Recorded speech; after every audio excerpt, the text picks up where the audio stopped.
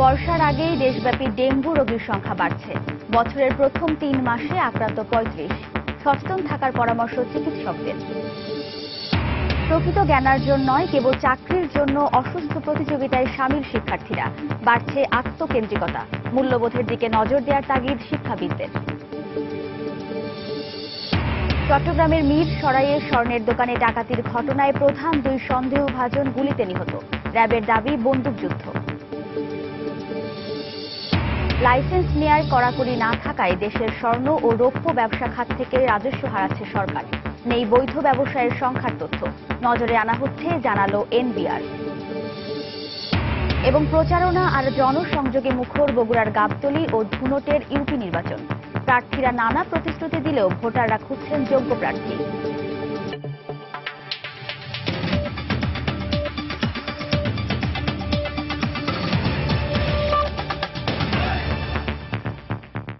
সময় সংবাদের সঙ্গে আছি আমি ওয়াহিদা স্বপ্না।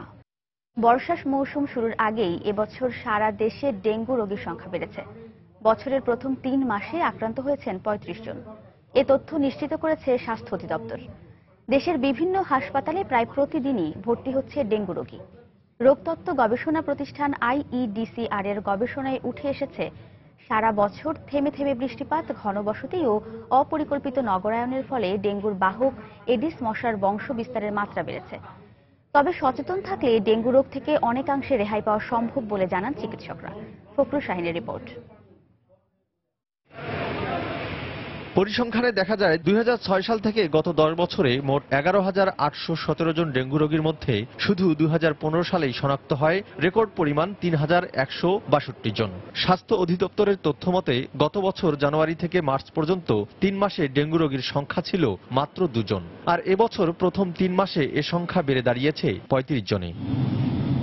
এই অবস্থায় স্বাস্থ্য অধিদপ্তরের রোগ নিয়ন্ত্রণ বিভাগ বলছে, এবছর ডেঙ্গু রোগীর সংখ্যা গত বছরের তুলনায় আরও বৃদ্ধি পাওয়ার আশঙ্কা রয়েছে। যেহেতু বৃষ্টিপাত শুরু হয়েছে, সুতরাং এডিস মশার প্রজনন বাড়বে। আর এডিস মশা যেহেতু ডেঙ্গুর প্রমাণিত বাহক, সুতরাং ডেঙ্গু রোগের প্রাদুর্ভাবও বাড়ার সম্ভাবনা রয়েছে। সময়ে সময়ে ফুলের টবের পানি পরিবর্তন করতে হবে, ফ্রিজের তলে জমে থাকা পানি এসির পাত্রে জমে থাকা পানি ফেলে দিতে হবে।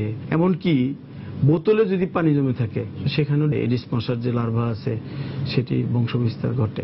আইইডিসিআর বলছে ডেঙ্গু রোগীদের সুচিকিৎসার জন্য নানা ব্যবস্থা গ্রহণ করছেন তারা। ঢাকা শহরে প্রায় তিরিশটা হসপিটালে আমরা গভর্নমেন্ট প্রাইভেট মিলে আমরা একেবারে ওয়েব রিপোর্টিং এর ব্যবস্থা করা হয়েছে।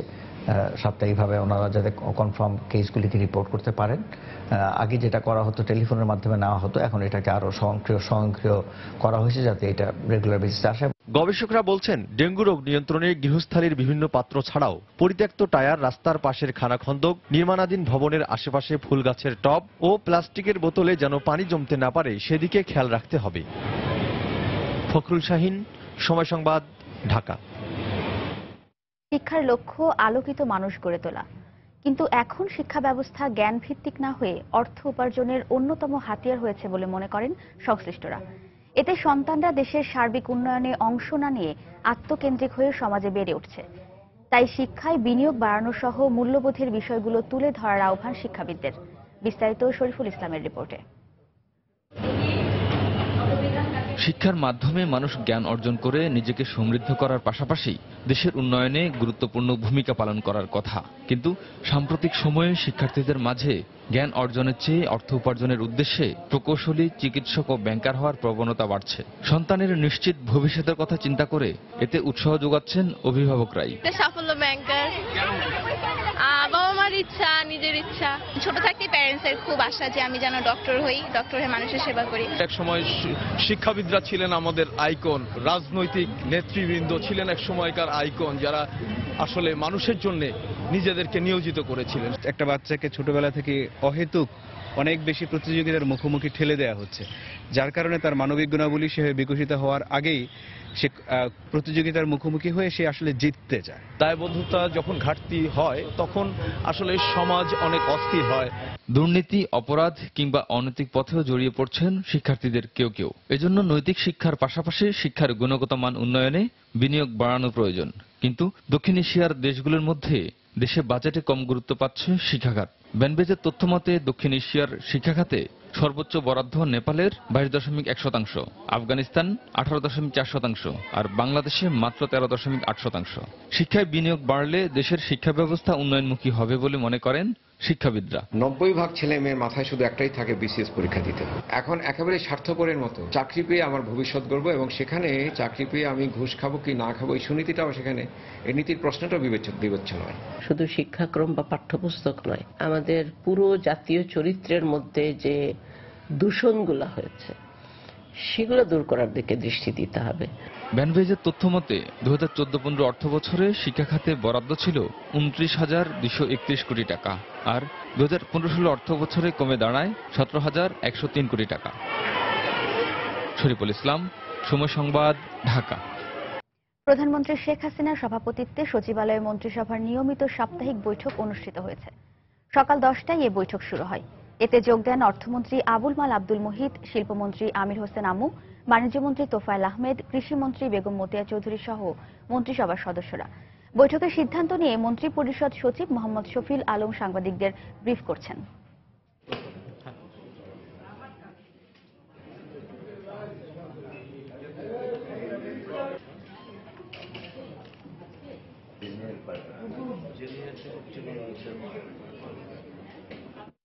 সময় সংবাদে আরও থাকছে। কর্ম ভিসার জন্য মন্ত্রণালয়ের ছাড়পত্র নিতে আর যেতে হবে না ঢাকায়। অত্যাধুনিক স্মার্ট কার্ডে চট্টগ্রামে মিলবে ছাড়পত্র, কমবে হয়রানি দুর্ভোগ এবং সার কীটনাশক সেচের দাম বাড়ায়, আবাদে এবার বাড়তি অর্থ গুনতে হচ্ছে কৃষকদের। কৃষি উপকরণের ঘাটতি নেই দাবি কৃষি বিভাগের।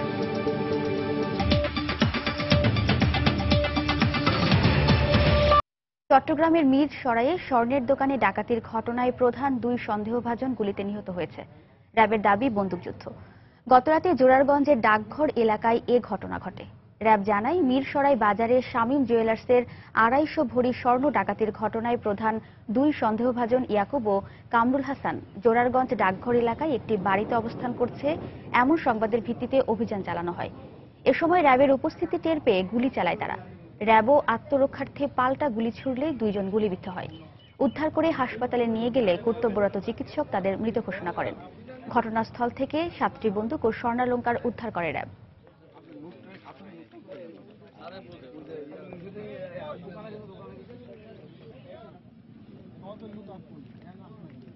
আমাদের গাড়ি এবং টর্চ দেখে তারা অতর্কিতে আমাদের উপর গুলি বর্ষণ শুরু করে।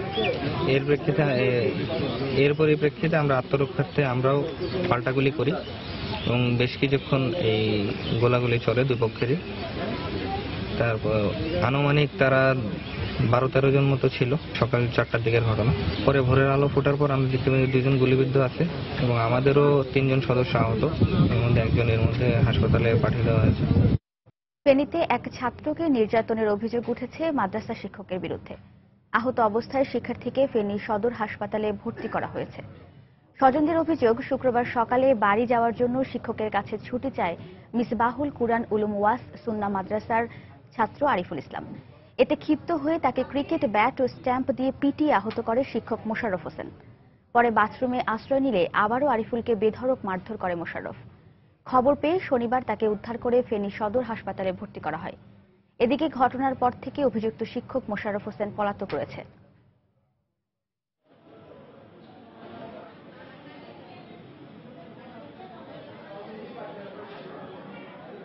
আমি শুক্রবার দিন চলে যেতে চাইছিলাম হুজুরের দৌড়ি স্টাম দিয়ে ব্যাটটি মারছে তারপরে কতক্ষণ মারার পরে আমি বাথরুমে ঢুকে যাই। একজন ছেলেকে উপর দিয়ে ফাটাইছে ফাটাই আর বার করে আনি আবার ফিরছে। ফাঙ্কা আছে না ফাঙ্কার সাথে পাইছে প্রশাসনের কাছে আমাদের জোর আবেদন এই বাচ্চা যে অবস্থা হয়েছে বাচ্চা মারাই যাইতো আমরা আপনাদের কাছে বিশ্বাস চাই। ব্যাত অথবা মোটা শক্ত কিছু দিয়ে আঘাত করা হয়েছে তাকে। সে হাসপাতালে ভর্তি আছে ভর্তি অবস্থায় আমরা তাকে চিকিৎসা দিচ্ছি। এখনই তাকে আমরা পুরোপুরি বিপদমুক্ত এই কথা বলতে পারব না কারণ শিক্ষককে ধৃত করার জন্য অভিযান পরিচালনা করি। শিক্ষক ঘটনার পর থেকেই পলাতক জানা যায় তাকে ধৃত করার চেষ্টা অব্যাহত আছে। টাঙ্গাইলের গোপালপুরে অষ্টম শ্রেণির এক ছাত্রীকে ধর্ষণের অভিযোগ উঠেছে মাঝহারুল ইসলাম নামে এক মাদ্রাসা শিক্ষকের বিরুদ্ধে। এ ঘটনায় নির্যাতিতার বাবা বাদী হয়ে মামলা দায়ের করলেও গ্রেফতার হয়নি আসামি। এদিকে নোয়াখালীর হাতিয়ায় সাত বছর বয়সী এক শিশুকে রুবেল নামে এক বখাটে ধর্ষণ করেছে বলে অভিযোগ স্বজনদের। এছাড়া পঞ্চগড়ে এক প্রতিবন্ধী শিশুকে ধর্ষণের অভিযোগে কাইমল নামে একজনকে গ্রেফতার করেছে পুলিশ। জেলার প্রতিনিধিদের পাঠানো তথ্য ও ছবি নিয়ে ডেস্ক রিপোর্ট।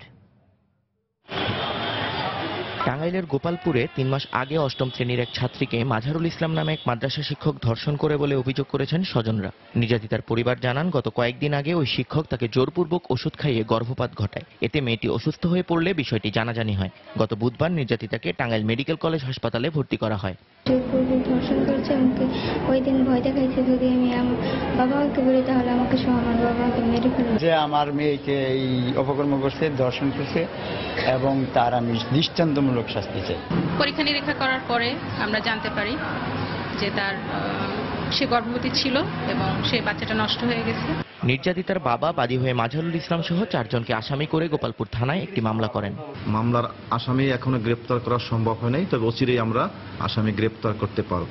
এদিকে গত শুক্রবার নোয়াখালীর হাতিয়ায় সাত বছর বয়সী এক শিশুকে রুবেল নামে এক বখাটে ধর্ষণ করেছে বলে অভিযোগ করেছে স্বজনরা। পরে শিশুটিকে উদ্ধার করে নোয়াখালী জেনারেল হাসপাতালে ভর্তি করা হয়। এ ঘটনায় নির্যাতিতার বড় ভাই বাদী হয়ে হাতিয়া থানায় একটি মামলা করেন। আমি চাই সেটার বিচার হোক আর কোনো সময় এরকম কারও ছেলে বা এরকম এর জন্য অন্যায় না করে প্রাথমিকভাবে এটি একটি ধর্ষণের ঘটনা বলে আমাদের কাছে মনে হচ্ছে। এখন মেয়েটি হাসপাতালে ভর্তি আছে এবং তার চিকিৎসা চলছে। তার একটি অপারেশন লাগবে। এছাড়া রোববার সকালে পঞ্চগড় সদরে এক প্রতিবন্ধী শিশুকে কাইমল নামে এক প্রতিবেশী ধর্ষণ করেছে বলে অভিযোগ করেছেন স্বজনরা। এ ঘটনায় মামলা দায়ের করার পর আসামি কাইমলকে গ্রেফতার করে পুলিশ। নিয়ন মুহাইমিন সময় সংবাদ। বেতন ও পরীক্ষার ফি বকেয়া থাকায় শিক্ষকদের অপমান ও লাঞ্ছনার শিকার হয়ে সাভারে দশম শ্রেণির এক ছাত্রীর আত্মহত্যার ঘটনায় মামলা হয়েছে। এ ঘটনায় দুই শিক্ষককে গ্রেফতার করেছে পুলিশ। স্বজনদের অভিযোগ, চার মাসের বেতন বাকি থাকায় সাভারের ভাটপাড়া এলাকার চাইল্ড হেভেন স্কুলের দশম শ্রেণির ছাত্রী সোনিয়াকে গতকাল সকালে অপমান করে শিক্ষকরা। এমনকি তাকে পরীক্ষা দিতে না দিয়ে স্কুল থেকে বের করে দেয়া হয়। এই অপমান সইতে না পেরে ক্ষোভে দুঃখে দুপুরের দিকে আত্মহত্যার পথ বেছে নেয় সে।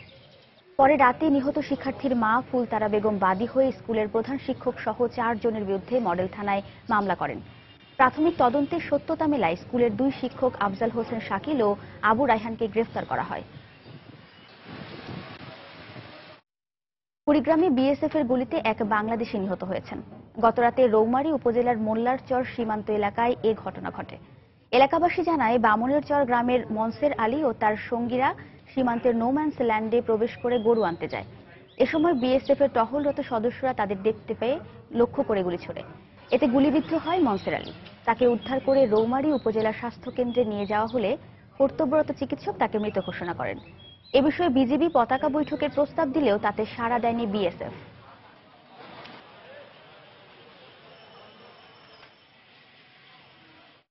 সময় সংবাদে আরও থাকছে।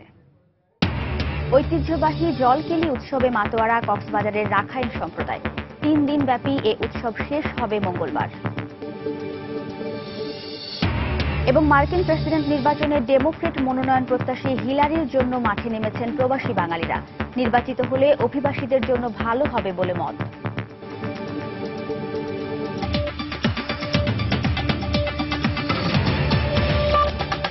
প্রচার প্রচারণা আর জনসংযোগে মুখর বগুড়ার গাবতলী ও ধুনট উপজেলার ইউনিয়ন পরিষদ নির্বাচন। সকাল থেকে রাত পর্যন্ত চলছে প্রার্থীদের ভোট প্রার্থনা। তারা দিচ্ছেন উন্নয়নের নানা প্রতিশ্রুতি। তবে ভোটাররা বলছেন তারা খুঁজছেন সৎ ও যোগ্য প্রার্থী। বিস্তারিত মাজেদুর রহমানের রিপোর্টে ক্যামেরায় ছিলেন রবিউল ইসলাম। বগুড়ার গাবতলী ও ধুনট উপজেলায় তৃতীয় পর্যায়ে নির্বাচন হচ্ছে একুশটি ইউনিয়নে। এবারই প্রথম দলীয় প্রতীকে নির্বাচন করছেন ইউনিয়নের চেয়ারম্যান প্রার্থীরা। প্রতীক বরাদ্দের পরে ইউনিয়নগুলোতে জমে উঠেছে নির্বাচনী প্রচারণা। প্রার্থীরা ভোটারদের দাঁড়ে দাঁড়িয়ে গিয়ে উন্নয়নের প্রতিশ্রুতি দিচ্ছেন। আওয়ামী লীগের প্রার্থীরা চাচ্ছেন দলীয় সরকারকে কাজে লাগিয়ে এলাকার উন্নয়ন করতে। আর বিএনপি প্রার্থীরা এলাকার বিএনপির ইমেজকে কাজে লাগিয়ে জয়ী হতে চান। বর্তমান আমরা আমাদের দল ক্ষমতায় আছে। ভোট দিয়ে নির্বাচিত করলে এই এলাকার উন্নয়নমূলক কর্মকাণ্ড বা কাজ হবে? এখানে নিরপেক্ষ নির্বাচন হলে আমি একশো পার্সেন্ট নিশ্চিত যে আমি আমাকে নির্বাচন থেকে কেউ পিছু হটাতে পারবে না। আমি যদি এই ইউনিয়নের নির্বাচিত হতে পারি এই ইউনিয়নের উন্নয়নের ধারাবাহিকতা অব্যাহত রাখব। বিএনপির ঘাঁটি হিসেবে এখানে নিরপেক্ষ ভোট হলে আমরা আশা করি বিএনপি এখানে ধানের শীষ এখানে বিপুল ভোটে বিজয়ী হবে। ভোটাররা খুঁজছেন সুখে দুঃখে তাদের কাছে থাকবেন এবং এলাকার উন্নয়ন করবেন এমন প্রার্থী। উন্নয়নমূলক কাজ করবে আমাদের পাশে দাঁড়াবে তাকে আমরা এবার ভোট দেব। দুর্নীতিমুক্ত দেশ গড়ার জন্য যে ভালো কাজ করবে আমরা তাকেই ভোট দেব। যে সমাজের উন্নতি করবে সে প্রার্থীকে দরকার। নির্বাচন সুষ্ঠু ও নিরপেক্ষ করতে ইতোমধ্যে সব প্রস্তুতি নেওয়া হয়েছে বলে জানালেন নির্বাচন সমন্বয়কারী কর্মকর্তা। এগারোটি মোবাইল কোর্টের টিম থাকবে। এবং পুলিশ, বিজিবি সকলে প্রস্তুত আছে। আমাদের নির্বাচনের প্রস্তুতি কাজ শেষ হয়েছে। গাবতলী উপজেলার এগারোটি ইউনিয়নে তিপ্পান্ন জন চেয়ারম্যান, একশো পনেরো জন সংরক্ষিত নারী সদস্য ও তিনশো একাশি জন সাধারণ সদস্য। এবং ধুনট উপজেলায় উনচল্লিশ জন চেয়ারম্যান, একশো পনেরো জন সংরক্ষিত নারী সদস্য ও তিনশো তেত্রিশ জন সাধারণ সদস্য প্রতিদ্বন্দ্বিতা করছেন। মাজেদুর রহমান, সময় সংবাদ, বগুড়া। এদিকে জমে উঠেছে নওগাঁর নিয়ামতপুর উপজেলার ইউনিয়ন পরিষদ নির্বাচনের প্রচার প্রচারণা। শেষ সময়ে ব্যস্ত সময় পার করছেন প্রার্থীরা। পোস্টারে ছেয়ে গেছে পুরো উপজেলা। প্রার্থীরা দিন রাত ভোটারদের বাড়ি বাড়ি গিয়ে দিচ্ছেন নানা প্রতিশ্রুতি। তারা চাইছেন ভোট। ভোটাররাও করছেন নানা হিসেব। এদিকে যতই সময় ঘনিয়ে আসছে, বাড়ছে প্রার্থীদের একে অপরের প্রতি অভিযোগ। তবে নির্বাচন সুষ্ঠু ও অবাধ করতে সব ব্যবস্থা নেওয়া হয়েছে বলে জানিয়েছে নির্বাচনী কর্মকর্তা। প্রস্তুত আছে আইনশৃঙ্খলা রক্ষা বাহিনী। আগামী তেইশ এপ্রিল তৃতীয় দফায় নিয়ামতপুরের আটটি ইউনিয়ন পরিষদে নির্বাচন অনুষ্ঠিত হবে।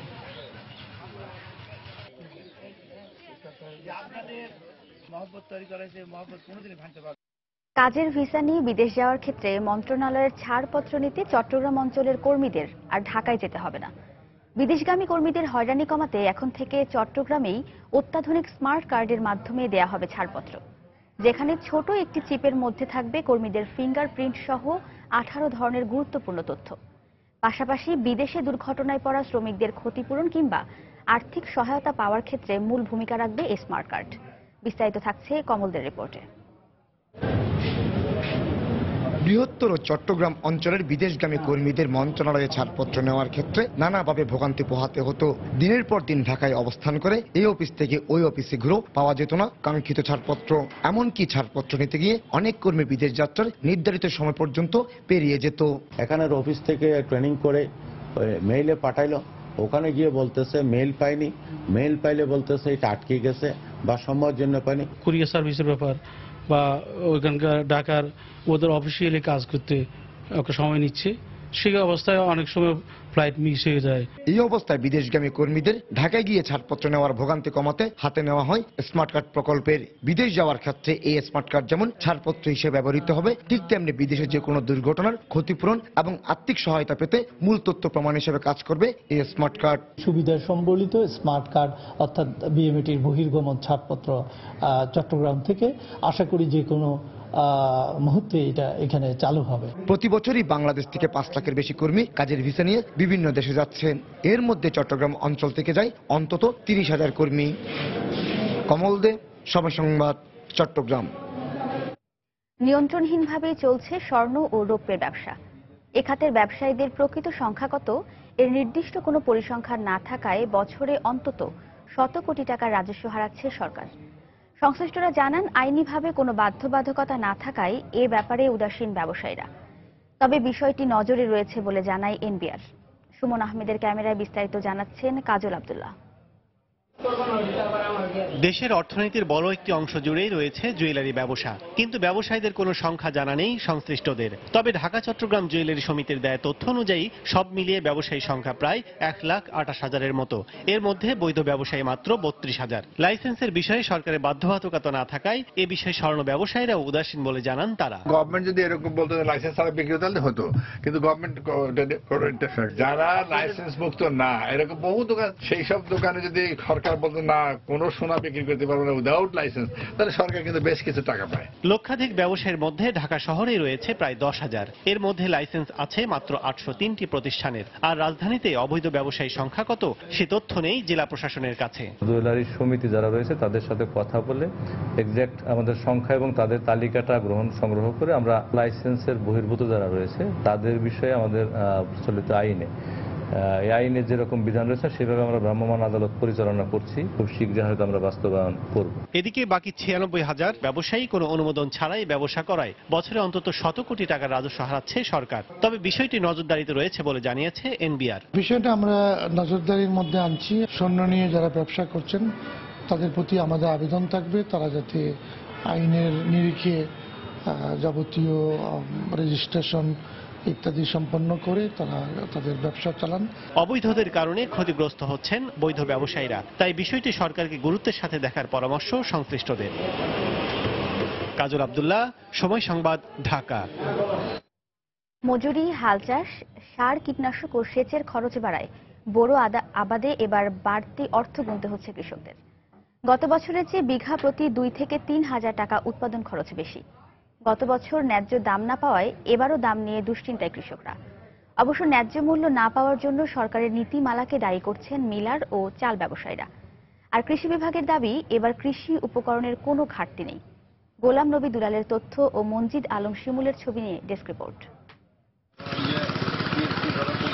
বড় মৌসুমে ধানের চারা রোপণের পর এখন দিনাজপুরে মাঠ জুড়ে সবুজের সমারোহ। নিড়ানির পর পোকামাকড় নির্মূলের জন্য জমিতে কীটনাশক স্প্রে করছে কৃষক। অনুকূল আবহাওয়া থাকায় এবার ভালো ফলন আশা করছে কৃষক। কিন্তু গত বছরের তুলনায় এই বছর ধান চাষ করতে কৃষকদের বিঘা প্রতি দুই হাজার থেকে তিন হাজার টাকা বেশি খরচ গুনতে হচ্ছে। সেচ, হাল চাষ ও কৃষি শ্রমিকদের মজুরি বৃদ্ধিতে ধানে খুব একটা লাভ হবে না জানালেন কৃষকেরা। প্রতি বিঘায় কামাল সহ আমাদের পানি সেচ সহ সার কীটনাশক সহ আমাদের এগারো হাজার টাকার খরচ। তাতে আমরা হিসাব করে দেখতেছি আমাদের লস যে কীটনাশক দাম এখন দামে এখন পাবো কি পাবো না এখন কীরকম কি হবে বাজারে? ধান উদ্বৃত্ত হওয়া সত্ত্বেও বিদেশ থেকে চাল আমদানি করায় মিলার ও কৃষকদের লোকসানের মুখে পড়তে হয়েছে। এজন্য সরকারি নীতিমালা দায়ী বলে মনে করেন ব্যবসায়ী নেতা ও চাল মালিকরা। ধানের দাম কম এবং বাইরে থেকে চাল আসায় উৎপাদন যেভাবে হচ্ছে কিন্তু সে তুলনায় দাম হচ্ছে না। এইভাবে চলতে থাকলে মিল মালিকরা যেমন একসময় পুঁজি হারিয়ে তাদের ব্যবসা বন্ধ করে দিবেন ঠিক তেমনি কৃষকরা যদি সঠিক দাম না পায় তাহলে কিন্তু আমাদের ভবিষ্যতে ধানের উৎপাদন কমে যেতে পারে। কৃষকদের জৈব প্রক্রিয়ায় ধান চাষে পরামর্শ সহ সব রকম সহযোগিতা প্রদানের কথা জানালেন কৃষি বিভাগের এই কর্মকর্তা। জৈব পদ্ধতিতে আমরা ধান চাষে চাষি ভাইদেরকে উৎসাহ প্রদান করে যাচ্ছি। আমাদের আশা করা যাচ্ছে যে এবারে আমরা বড় ধানের ফলন বেশ ভালো পাবো। জেলায় এবার এক লাখ তেহাত্তর হাজার হেক্টর জমিতে ধান আবাদের লক্ষ্যমাত্রা নির্ধারণ করা হয়েছে। আর উৎপাদনের লক্ষ্যমাত্রা ছয় লাখ আটাশি হাজার মেট্রিক টন। সময় সংবাদ দিনাজপুর। ঐতিহ্যবাহী জলকেলি উৎসবে মাতোয়ারা কক্সবাজারের রাখাইন সম্প্রদায়। এই উৎসবকে ঘিরে পর্যটন শহর কক্সবাজারে এখন আনন্দমুখর পরিবেশ। রোববার থেকে শুরু হওয়া তিন দিন ব্যাপী এ উৎসব শেষ হবে মঙ্গলবার। তেরোশো আটাত্তর রাখাইন বর্ষকে স্বাগত জানাতে বর্ণিল এ আয়োজন পরিণত হয়েছে নানা ধর্ম বর্ণের মানুষের মিলন মেলায় সুজাউদ্দিন রুবেলের তথ্য ও মোহাম্মদ ফরাজের ছবি নিয়ে ডেস্ক রিপোর্ট। কোনো ধর্মীয় উৎসব নয়, তবে সামাজিক রীতি অনুযায়ী আনন্দমুখর পরিবেশে ধুমধামের সাথে বর্ণাঢ্য রাখাইন নববর্ষকে বরণ করা হয়। এ উপলক্ষে সবচেয়ে বড় আয়োজনটির নাম জলকেলি উৎসব, যার রাখাইন নাম সাংগ্রেং পোয়ে। রাখাইন সম্প্রদায়ের লোকজনের মতে, এটি শুভ্র ও পবিত্র হওয়ার উৎসব। যাতে আমরা পরবর্তী বছরে পরিপূর্ণতা এবং আনন্দ, খুশির মাধ্যমে জীবনটা কাটাতে পারি। সেই আশায় আমরা এই অনুষ্ঠানটা পালন করে থাকি। প্রতি বছরের মতো এবারও চলছে বর্ণিল আয়োজনে তিন দিন ব্যাপী এ জলকেলি উৎসব। আর এই উৎসবকে ঘিরে কক্সবাজারের রাখাইন পল্লীতে এখন উৎসবের আমেজ। ছোট বড় সবাই দল বেঁধে গেয়ে ঘুরছে রাখাইন পল্লীর প্যান্ডেলগুলোতে। শুধু রাখাইন সম্প্রদায়ের লোকজনই নয় নানা ধর্ম বর্ণের মানুষের মিলন মেলায় পরিণত হয়েছে এই উৎসব। আমরা এই- উৎসবে খুবই আনন্দ ভোগ করি। পবিত্র পানির ছিটিয়ে আমরা বৎসরের আহ, পাপগুলোকে মোচন করছি? এটা হচ্ছে সম্প্রীতির একটা মেলবন্ধন আমাদের। দল বেঁধে প্যান্ডেল করে আমরা মেয়েরা রেডি হয়ে বসে থাকি। যে দেন আমাদেরকে ছেলে গ্রুপ করে এসে একজন একজন করে। যাদেরকে চয়েস হয় পানি মারে আর পান অনেক হয়। যাদেরকে পছন্দ হয় এই বছরে প্রপোজ করে। রাখাইন সম্প্রদায়ের ঐতিহ্যকে ধরে রাখার জন্য এ ধরনের উৎসবে সরকারকে এগিয়ে আসা প্রয়োজন বলে মনে করেন রাখাইন সম্প্রদায়ের নেতারা। আমাদের জায়গায় সংকটনার অভাব দ্বিতীয়ত আমাদের সরকারিভাবে আমাদের অর্থনৈতিকভাবে সহযোগিতা অভাবের কারণে এই অবস্থা। কক্সবাজার সংস্কৃতি কেন্দ্র ওইটার কাছ থেকে আমরা তিন চার লাখ টাকা করে বছরে পাই। এইটা নিয়ে আমরা কোনো ধরনের কোনো রকমে আমরা অনুষ্ঠানটা চালিয়ে যাচ্ছি। আসলে এটা খুব একটা পর্যাপ্ত না। শুধু কক্সবাজারের রাখাইন পল্লীতে নয় জেলার মহেশখালী রামু চকরিয়া ও টেকনাফের ত্রিশটি প্যান্ডেলে চলছে এ জলকেলি উৎসব। সময় সংবাদ কক্সবাজার। দেশের বাইরের খবর। মার্কিন প্রেসিডেন্ট নির্বাচনে প্রবাসী বাঙালিদের অন্যতম পছন্দ ডেমোক্রেট দলের মনোনয়ন প্রত্যাশী হিলারি ক্লিন্টনকে। বিশেষ করে বৈধ কাগজপত্র নেই এমন এক কোটি দশ লাখ অভিবাসী সহ বাংলাদেশের জন্য হিলারিকেই বন্ধু মনে করছেন সাধারণ প্রবাসীরা। বিল ক্লিন্টনের মতো হিলারি ক্লিন্টনকেও বিজয়ী করতে আবারও স্বতঃস্ফূর্তভাবে মাঠে নেমেছেন প্রবাসী বাঙালিরা। নিউ ইয়র্ক থেকে শিহাবুদ্দিন কিস্তুর পাঠানো তথ্য ও ছবি নিয়ে ডেস্ক রিপোর্ট। হিলারি ক্লিন্টনের পক্ষে প্রচারণা চালাতে জোট বেঁধে মাঠে নেমেছেন প্রবাসী বাঙালিরা। মার্কিন প্রেসিডেন্ট নির্বাচনে ডেমোক্র্যাট দলের মনোনয়ন যুদ্ধে গুরুত্বপূর্ণ নিউ ইয়র্ক অঙ্গরাজ্যে দলীয় প্রাইমারি অনুষ্ঠিত হবে আগামী উনিশ এপ্রিল। সেই দিনটিকে সামনে রেখে জ্যাকসন হাইটসের ডাইভার্সিটি প্লাজায় আয়োজন করা হয় আনুষ্ঠানিক উন্মুক্ত সংবাদ সম্মেলনের। প্রবাসী বাংলাদেশি সহ অভিবাসীদের নানা সমস্যার সমাধানের জন্য হিলারি ক্লিন্টনের কোনো বিকল্প নেই বলে মত প্রকাশ করেন অংশগ্রহণকারীরা। আমার মনে হয় হিলারি আমাদের জন্য খুবই ভালো হবে। আহ, উনি দুবার ছিলেন বা উনি মুসলিমদের বা ইমিগ্রেশনের জন্য হেল্প করবে এটাই আমি মনে করি। She's also a woman who supports women rights, and I believe uh, o- okay definitely vote দেওয়া উচিত। ডেমোক্র্যাট কনভেনশনের একমাত্র দক্ষিণ এশীয় ডেলিগেট যুক্তরাষ্ট্রের সর্ববৃহৎ মিউনিসিপ্যালিটি কর্মচারী ইউনিয়নের নেতা মেজবাউদ্দিনের মতেও প্রবাসী বাঙালিদের উন্নয়নে হিলারি একমাত্র যোগ্য প্রার্থী। হিলারিকে মূল্যায়ন করা একান্ত দরকার আমাদের প্রয়োজনে। যেভাবে রিপাবলিকানরা মুসলমানদের প্রতি ইমিগ্রেন্টদের প্রতি যেভাবে বিদ্বেষ প্রবণ বক্তৃতাগুলি দিচ্ছে সারা আমেরিকা ব্যাপী we have to stop that একই কথা বললেন জ্যাকসন হাইটসের দক্ষিণ এশীয়দের প্রতিনিধিত্বকারী সংগঠন নিউ আমেরিকান ডেমোক্র্যাট ক্লাবের নেতা শেখর কৃষ্ণাও। হিলারি একজন অসাধারণ ব্যক্তি। পররাষ্ট্রমন্ত্রী থাকাকালীন প্রতিটি ক্ষেত্রেই তিনি অসামান্য অবদান রেখেছেন। তবে যে বিষয়টি সবচাইতে গুরুত্বপূর্ণ তা হল দক্ষিণ এশীয় কমিউনিটিগুলোর সঙ্গেও তার কাজ করার অভিজ্ঞতা রয়েছে এবং এই অঞ্চলের প্রধান সমস্যাগুলো তিনি জানেন। হিলারি ক্লিন্টনকে সমর্থন জানিয়ে সংবাদ সম্মেলনে বক্তব্য রাখেন Jackson হাইটসের councilman Daniel Dromm Hillary Clinton সবসময় দক্ষিণ এশীয় কমিউনিটির পাশে ছিলেন তাই এ অঞ্চলের মানুষদের উচিত তার সমর্থনে এগিয়ে আসা।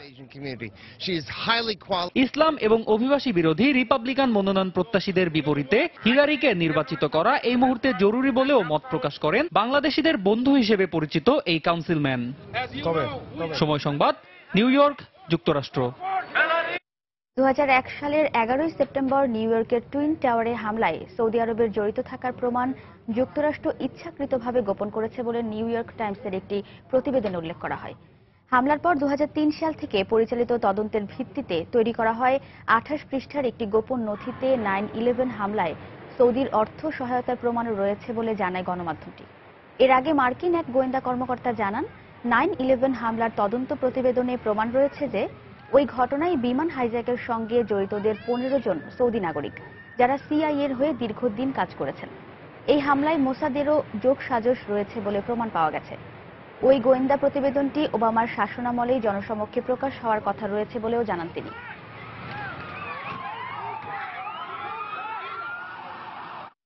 ইকুয়েডরের শক্তিশালী ভূমিকম্পে মৃতের সংখ্যা বেড়ে দুশো বাহাত্তর জনে দাঁড়িয়েছে। আহত হয়েছেন প্রায় আড়াই হাজার মানুষ। ভূমিকম্পে ঘরবাড়ি হারিয়েছেন কয়েক হাজার মানুষ। এর মধ্যে আহতদের উদ্ধারে কার্যক্রম শুরু করেছে ইকুয়েডরের সেনাবাহিনী। সেই সাথে জাতিসংঘকে ভূমিকম্প ক্ষতিগ্রস্ত ইকুয়েডরের পাশে দাঁড়ানোর আহ্বান জানিয়েছেন সে দেশের প্রেসিডেন্ট।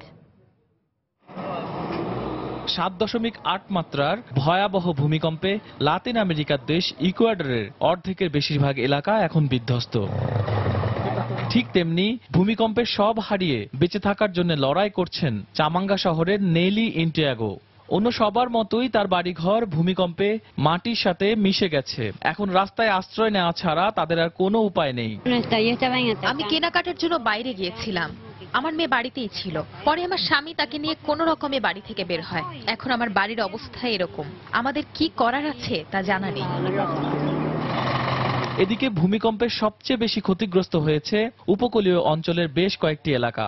এই অঞ্চলেই ছিল ভূমিকম্পের কেন্দ্রস্থল। এখানে প্রায় একশো ষাট বার পরবর্তী ঝাঁকুনি অনুভূত হয়েছে বলে জানায় ইকুয়াডরের আবহাওয়া অধিদপ্তর।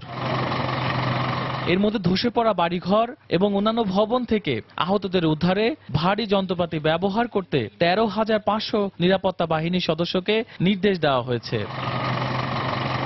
সেই সাথে জরুরি অবস্থা জারির পাশাপাশি ষাট কোটি ডলারের ত্রাণ তহবিল ঘোষণা করেছে ইকুয়াডরের প্রেসিডেন্ট অধিদপ্তর। অন্যদিকে হতাহতের সংখ্যা আরও বাড়তে পারে বলে আশঙ্কা প্রকাশ করেছেন দেশটির ভাইস প্রেসিডেন্ট। এই মুহূর্তে আমাদের কাছে গুরুত্বপূর্ণ হচ্ছে প্রত্যেকটি মানুষকে উদ্ধার করা যারা এই ভূমিকম্পে ক্ষতিগ্রস্ত হয়েছেন। সেই সাথে আমরা আন্তর্জাতিক সাহায্য কামনা করছি। বৃহস্পতিবার ইকুয়েডর এবং জাপানে প্রাণঘাতী দুটি বড় ভূমিকম্প আঘাত হানে। যুক্তরাষ্ট্র ভিত্তিক ভূতাত্ত্বিক জরিপ সংস্থার মতে, এই দুটি দেশ প্রশান্ত মহাসাগরীয় অঞ্চলের ভূমিকম্প সক্রিয় এলাকা রিং অফ ফায়ারের অন্তর্ভুক্ত। তবে এই দুই দেশের মধ্যে দূরত্ব অনেক বেশি হওয়ায় বিশেষজ্ঞরা ধারণা করছেন উচ্চ মাত্রার এই ভূমিকম্পের মধ্যে কোনো সম্পর্ক নেই। শাশ্বত সত্য, সময় সংবাদ। এদিকে দুই দফা শক্তিশালী ভূমিকম্পের পর দক্ষিণ পশ্চিমাঞ্চলীয় কিউশু দ্বীপকে স্বাভাবিক অবস্থায় ফিরিয়ে আনতে লড়াই চালিয়ে যাচ্ছে জাপান। সোমবার সেখানে প্রায় এক লাখ আশি হাজার মানুষ তৃতীয় রাতের মতো অস্থায়ী শিবিরে বসবাস করেছে। প্রায় বাষট্টি হাজার ঘরবাড়ি এখনও বিদ্যুৎ বিচ্ছিন্ন রয়েছে। আর কমপক্ষে তিন লাখ বাড়িতে এখনও কোনো পানি নেই। ভূমিকম্পের পর এখনও নিখোঁজ রয়েছে অন্তত এগারো জন। সোমবার আবহাওয়ার কিছুটা উন্নতি হওয়ার পর হেলিকপ্টারে করে কুমামতো এলাকায় উদ্ধার অভিযান চালানো হয়। জাপানে ছয় দশমিক চার মাত্রার ভূমিকম্প আঘাত হানার একদিনের মাথায় শুক্রবার রাতে আবারও কুমামতো এলাকায় সাত দশমিক তিন মাত্রার ভূমিকম্পে দুই হাজারেরও বেশি মানুষ হতাহত হয়।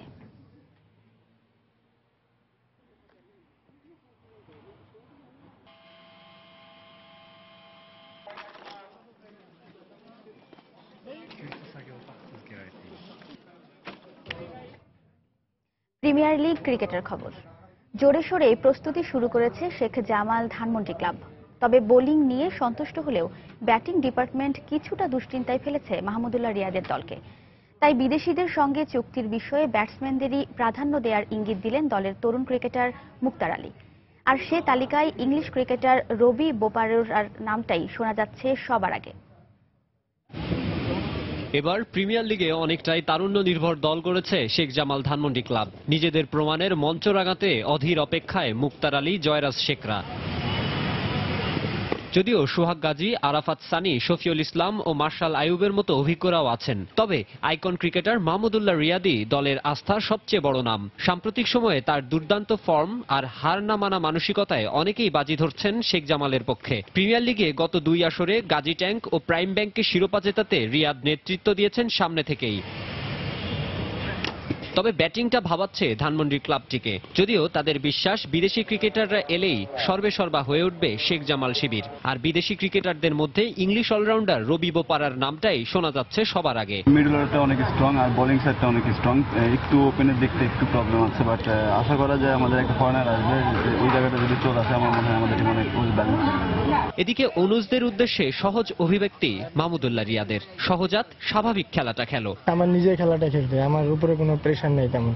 আর উপরের সাইডে সিনিয়র ব্যাটসম্যানই তো আছে সব। আর কোনো মিঠু ভাই আছে তারপরে রাসেল ভাই আছে বিশ্বকাপে টানা দুই সেঞ্চুরির গল্প রচয়িতা রিয়াদের দায়িত্বশীলতার স্তুতি এখন দেশের ক্রিকেট পাড়ায়। গত দুই আসরের চ্যাম্পিয়ন অধিনায়ক এবার তরুণ সেনানীদের কি মন্ত্র শেখাচ্ছেন তা প্রমাণ হবে মাঠের খেলাতেই। মাকসুম আলম খান সময় সংবাদ ঢাকা। পাঁচ ম্যাচ পর হোচট খেল ইংলিশ প্রিমিয়ার লিগের শীর্ষ দল লিস্টার সিটি। ঘরের মাঠে ওয়েস্ট হ্যাম ইউনাইটেডের বিপক্ষে শেষ মুহূর্তে দুই দুই গোলে ড্র করেছে ক্লদিও রানিয়েরির দল। অন্যদিকে ইতালিয়ান সিরিয়াতে পার্লে মোরকে চার শূন্য গোলে বিধ্বস্ত করে শিরোপার আরও কাছে চলে গেছে বর্তমান চ্যাম্পিয়ন জুভেন্টাস। গেল সেপ্টেম্বরের পর ইংলিশ প্রিমিয়ার লিগে ঘরের মাঠে কোনো ম্যাচ হারেনি লিস্টার সিটি। সেই সঙ্গে ছিল শেষ পাঁচ ম্যাচ জয়ের আত্মবিশ্বাস। তাই ওয়েস্টহ্যামের বিপক্ষেও তিন পয়েন্ট নিয়ে ইতিহাস রচনার দিকে আরও একটু এগিয়ে যাওয়াই লক্ষ্য ছিল ক্লদিও রানিয়েরির দলের। অন্যদিকে শেষ ম্যাচে ম্যানচেস্টার ইউনাইটেডের বিপক্ষে হারলেও লিস্টারের বিপক্ষে এদিন দেখা যায় ভিন্ন এক ওয়েস্টহ্যামকে যদিও ম্যাচের আঠারো মিনিটে মৌসুমে নিজের একুশতম গোল করে স্বাগতিকদের উল্লাসে মাতান জেমি ভার্ডি। লিড পেলেও বল দখল কিংবা ম্যাচে আধিপত্য ছিল হ্যামার্সদের কিন্তু গোলের দেখা পায়নি স্লাভেন বিলিচের দল। বিরতির পর বড়সড় ধাক্কা খায় লিস্টার ছাপ্পান্ন মিনিটে দ্বিতীয় হলুদ কার্ড দেখে মাঠ ছাড়েন জেমি ভার্ডি দশ জনের দলের বিপক্ষে তখন আরও আক্রমণাত্মক ওয়েস্ট হ্যাম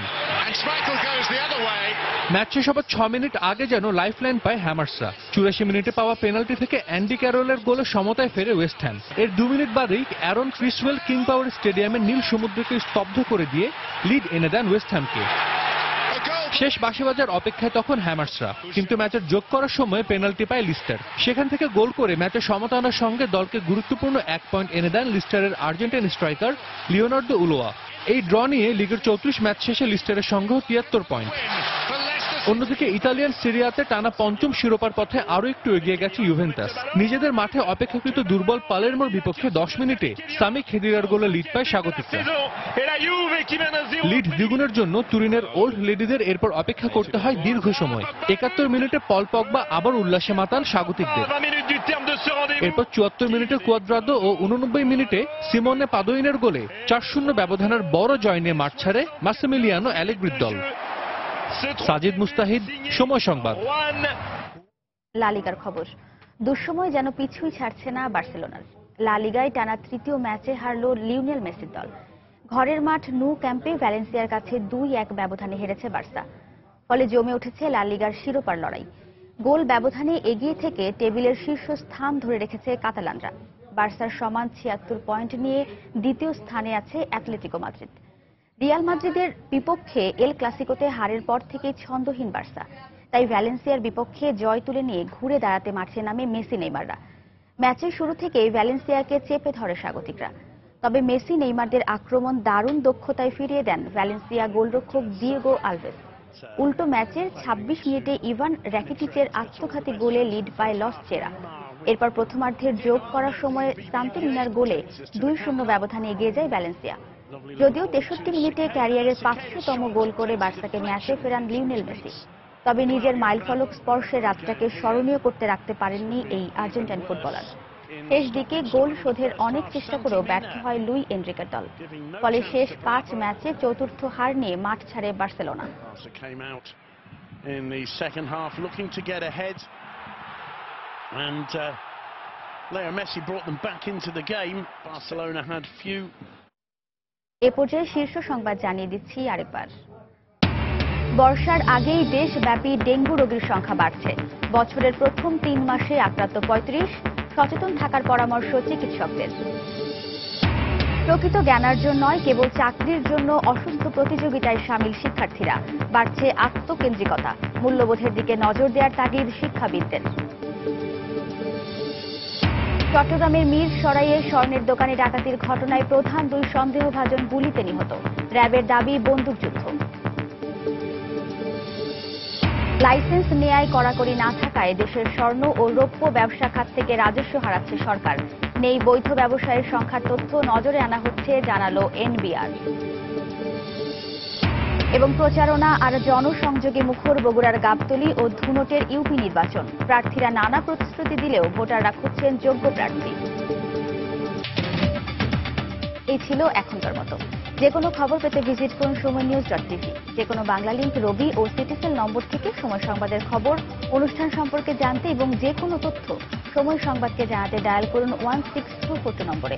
এছাড়া এইমাত্র পাওয়া খবর আপনার মোবাইলে পেতে S M S phone start space S N লিখে পাঠিয়ে দিন ওয়ান সিক্স টু ফোর নম্বরে। আর সঙ্গেই থাকুন সময়ের